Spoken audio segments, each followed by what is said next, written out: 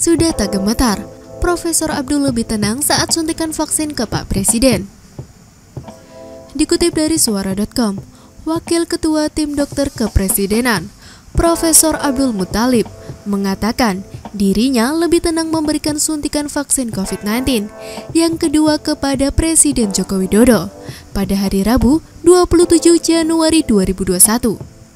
Lebih tenang karena sudah terbiasa vaksinasi pertama kata Abdul seusai memberikan suntikan vaksin COVID-19 kepada Presiden di Istana Kepresidenan Jakarta.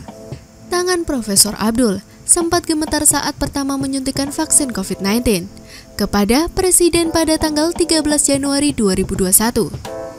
Dia menjelaskan bahwa vaksin yang ia suntikan ke tangan Presiden adalah vaksin COVID-19 buatan Sinovac. Saya ingin menjelaskan sekali lagi bahwa vaksin yang saya berikan adalah vaksin Sinovac, bukan vaksin yang lain dan saya dan saya kira tetap 5M meski sudah divaksin katanya. Profesor Abdul menyampaikan terima kasih kepada Pak Presiden yang memberi dia kepercayaan untuk melakukan vaksinasi pada tahap kedua. Lebih lanjut, Profesor Abdul mengaku sempat berbincang dengan Presiden saat melakukan vaksinasi di antara lain menanyakan keluhan presiden seusai menjalani vaksinasi tahap pertama. Saya menanyakan apakah Bapak ada keluhan setelah vaksinasi pertama, ternyata tidak ada sama sekali.